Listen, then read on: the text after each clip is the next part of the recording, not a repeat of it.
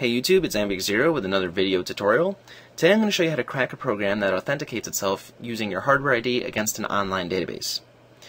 Okay, and what that means is, as protection, some programs generate a hardware ID, uh, a number specific to your computer, meaning it's very unlikely that any other computer running the same algorithm will get this uh, number.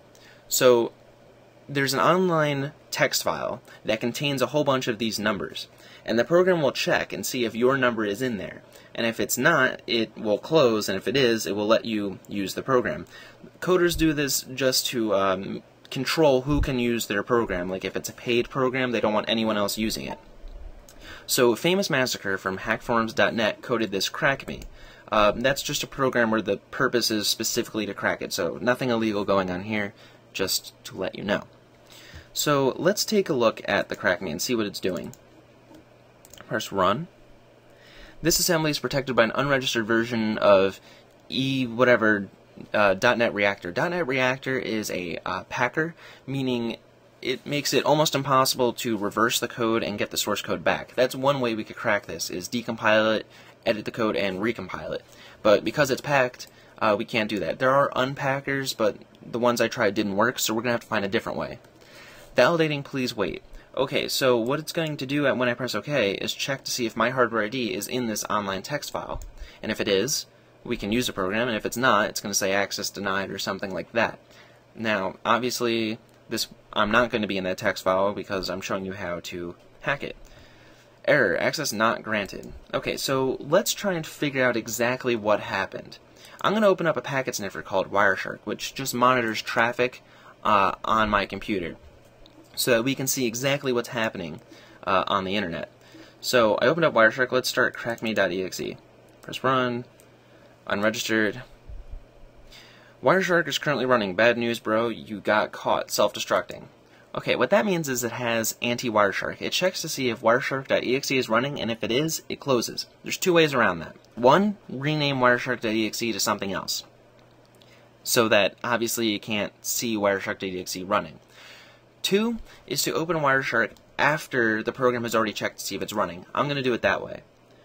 Crackme.exe, run, okay. Okay, we didn't get this far before, which means it has already checked to see if Wireshark.exe is running. Obviously it wasn't, so now we can open it because it's not checking anymore. Okay, now select your network adapter. I use a wireless card, so look for something that sends some packets. Here we go. Press start and now it's going to start recording all my internet traffic. And we're going to press OK. Now, remember I said it's looking online for a text file, which means it's using HTTP protocols. So we can filter for that, so we can get all this other crap out of the way. Error access not granted. Okay, now let's see exactly what happened. HTTP, and we can also stop recording now, so I'm going to press this stop button. So we made a request to famousmassacre slash elite.txt at the destination 64.62.181.46. That's a ripway.com uh, address. That's just a free hosting website if you don't know what Ripway is. Um, so we went to this text file and then we got a response. The source is from the same thing that the destination was, uh, coming into us. So let's right click this. See it's a text slash plain. Right click follow TCP stream. So here's what we got. We have the hardware ID of a few different people here. If we were in this, the program would have ran just fine. But we weren't. So what we have to do is find a way to make the program think that we're in this text file. You could either hack his Ripway account, which I'm not really sure how you would do. Two, decompile the program and remove the check, but we can't do that because it's packed. So now we have to find a different way to do this. And because we can't decompile it, we don't know how he's getting our hardware ID. Luckily, we, if you know a decent amount, um, and this is really advanced, you know by looking at this number that this is just a processor ID, um, meaning it's a very public hardware ID grabber source that he used. He didn't code his own, he used one um, that's well known. It's just your processor ID. So we're going to quit out of Wireshark. We already know what's going on. And I have this hardware ID generator right here that grabs our process ID. I'm going to press run, get hardware ID. And there we go. Now this won't work with all programs, it just happens to work here because he used a public uh, generator. So I'm going to press new text file, let's save this for later.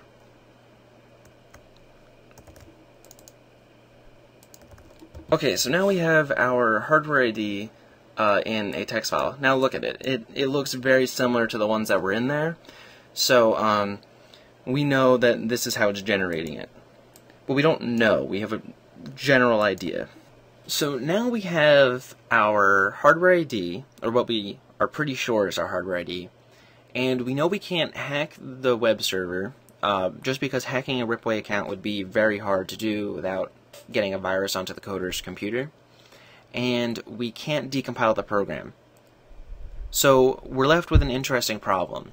If we could somehow spoof the response from the server, we could do this. Which sounds ridiculous, but there is a program called Fiddler which injects into the, uh, the DLL that deals with networking in Windows, so we can actually spoof the response. So, we're going to open up Fiddler. However, crackme.exe also has anti-fiddler, so let's do the same thing we did before. Press OK. And here we go. We can now open Fiddler. Go to Networking, Fiddler 2. Okay, now Fiddler is a pretty complicated program, so you you might not understand all that's going on right now, but I'm going to put a download uh, link in the description for Fiddler, and after you install it, it will link you to a whole bunch of really helpful training videos, and I really recommend that you watch them. So now Fiddler is recording on all processes, as it says down here. Now what we want to do is pause on every response so that we can edit it. So go to Rules, Automatic Breakpoints, and After Responses, click that. So that means it will break on every response. Not break as in crash, break as in uh, all debugging programs, meaning to pause. So then what we can do is in the inspector, in the text view area, we will be able to edit the response. So let's go ahead and let the CrackMe do its thing. Press OK. Let's copy our hardware ID for now. And we should see the get response in this window right here. Uh, they will show up as one item here. Okay, here we go. See this little pause? That means that it is paused and we will go to text view and here's the text file. And we have to do this kind of fast because there is a timeout limit uh, paste it. We don't actually have to write this, but I'm going to write it anyway just in case it does an XML format. And press run to completion. Access granted. Press OK. Uh, mm, it, we should have closed Fiddler first. It says bad news, bro, you got yourself caught again.